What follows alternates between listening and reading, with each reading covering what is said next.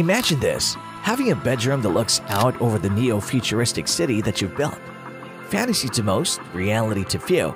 Dubai based real estate tycoon Mohammed Alabbar is among those lucky few. The business mogul and founder of Emaar Properties is responsible for establishing the world's tallest man made structure, the Burj Khalifa, and the largest shopping mall in the world, the Dubai Mall.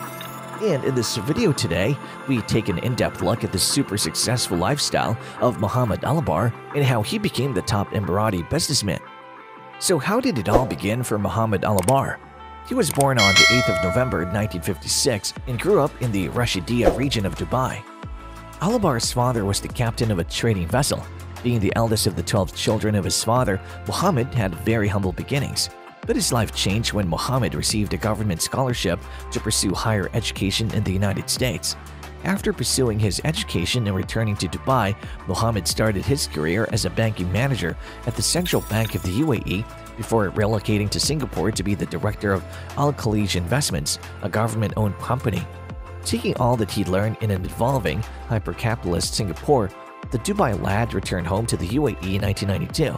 Gradually, he began spearheading Dubai's infrastructural and economic growth, working directly for the Dubai government to expand the region's business prospects and turn it into an investment hub in the Middle East.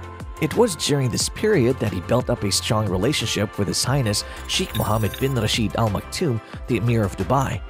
Now backed by His Highness himself, Mohammed put his plans into action and established Emaar Properties. The real estate company was co-owned by Alabbar, the royal family, and other rich Emirati investors.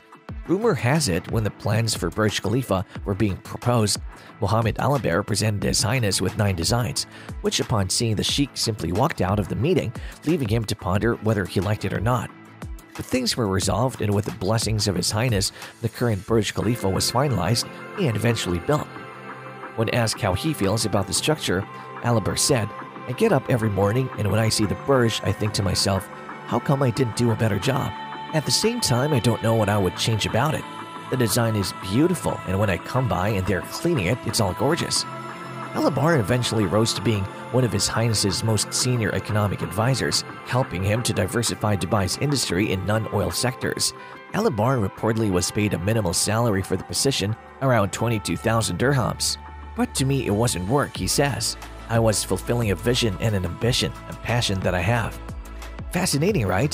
One of the richest men on earth making just $6,000. Since then, Emaar Properties has created a massive impact in global real estate. Architectural marvels such as the Burj Khalifa and Dubai Mall are noteworthy projects by Emaar. The company is one of the largest international property groups in the world, with an annual revenue of $6 billion in ongoing projects in Africa, Asia, Europe, and North America, in addition to the Middle East. Over the past 17 years, Emaar has redefined the dynamics of property development, which now serves as a template for others across the world. Tech is the next frontier, said the Emaar founder in one of the recent interviews.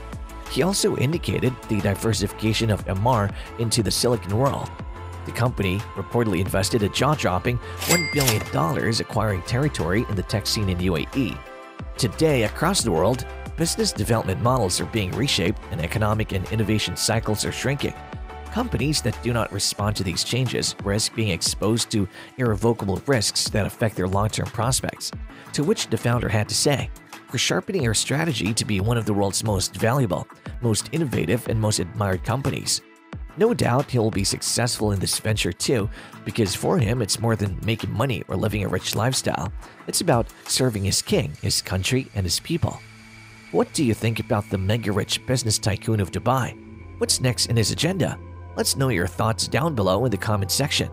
And if you enjoyed this video, then please like, share, and subscribe to our channel where we will discover more such lavish lifestyles.